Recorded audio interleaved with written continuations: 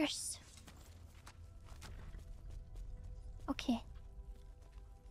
No wrong button. Oops. How do you jump on a horse? Hold on. Hold on.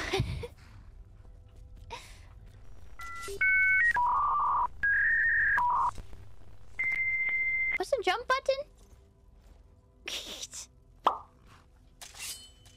Same way I jump normally? How do I jump normally? Why? You're right. how come I only know how to jump when I'm not on a horse? Can you jump? Oh! I love Skyrim! I love Skyrim! Let me off, let me off. Thank you, Todd Howard.